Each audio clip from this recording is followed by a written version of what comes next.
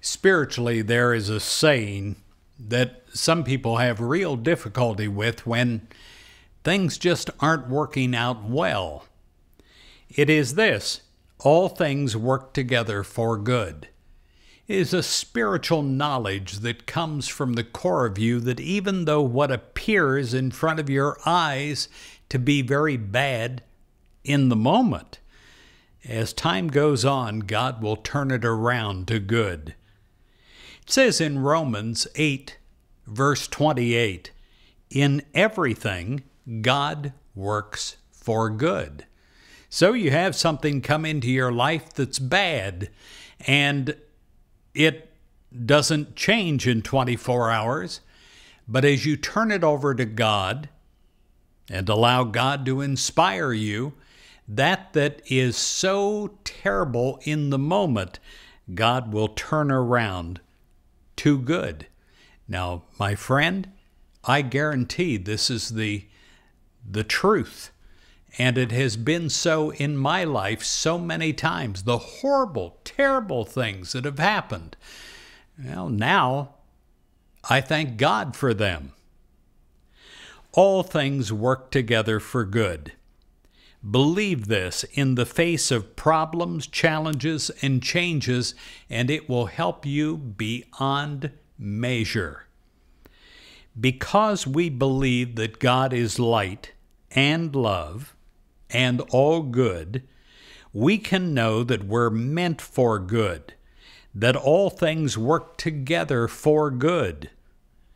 Growth in our life is good and we want to grow so that we can express all of our divine potential.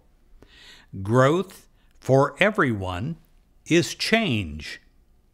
The infant, well, the infant must grow into adulthood to reach their human potential. Each cha- stage of growth, it is good and it is important. There are some breaking of shells as we grow, and these disturb us in the moment. But as we keep our faith in God, we find that this is God's world and that all things are working together for good in God's world, and we're a part of that good, part of that world of God. Along with our faith in God's good, we may need patience. And patience will be in a multi way patience with others, patience with ourselves, and patience with life itself. Patience is another step in growth. So we can call that good also. It's like putting something into the oven. You have to wait a particular amount of time. Otherwise, it's of no good at all.